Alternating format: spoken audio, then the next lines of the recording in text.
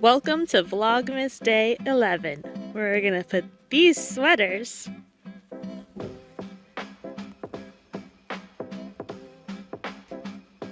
on those goats.